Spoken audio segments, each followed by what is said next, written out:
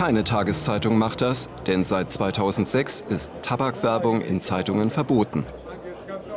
Die schalten da Anzeigen, Remsmar, ausgerechnet bei Vorwärts. Müsste jemand anders fragen. Kann ich, nicht, kann ich wirklich nichts zu sagen. Wer ist noch Remsmar? Aber Philip Morris ist auch da, haben wir gesehen. Philipp ist auch ein schöner Name. Ja. Das Oberlandesgericht Hamburg